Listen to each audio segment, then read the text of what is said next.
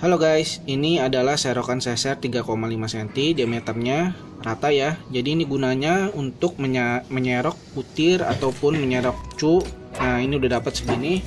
Jadi kita tinggal kasih makan ke cupang kita. Jadi gunanya memang buat kasih makan cupang kita. Jadi takarannya pas lah, staker-staker. Uh, nah, jadi uh, ini bukan buat nyerok ikan cupang ya, karena permukaannya datar. Dikhususkan lebih untuk uh, menyerok makanannya seperti kutu air dan jentik. Oke. Nah, guys, ini adalah serokan 6 cm dan 8 cm. Nah, kalau 8 cm ini biasa saya buat nyerok kalau misalnya kayak gini ya. Jadi kalau misalnya memang kita udah yang bekas sortir masuk ke gelas aqua ini nggak enak pakai yang 8 cm. Enakan pakai yang 6 cm, guys. Nah, jadi kita langsung serok begitu tuh, dapat.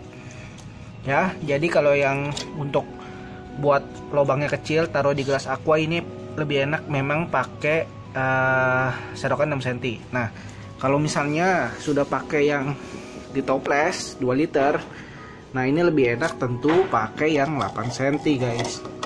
Nah jadi langsung begitu langsung langsung diserok dapat ya guys ya.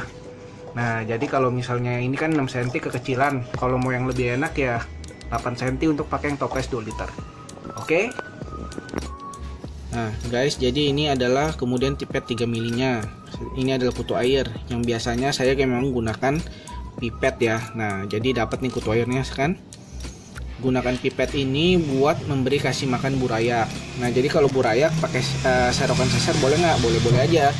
Tapi saya lebih suka ini guys Karena pembagiannya lebih merata Ya. Jadi anggap ini kolom burayak ya Tinggal ditata seperti itu tuh guys jadi kita bisa lebih rata lah. Kalau untuk buraik saya lebih suka pakai pipet. Tapi bebas kalau mau pakai serokan sesar juga boleh.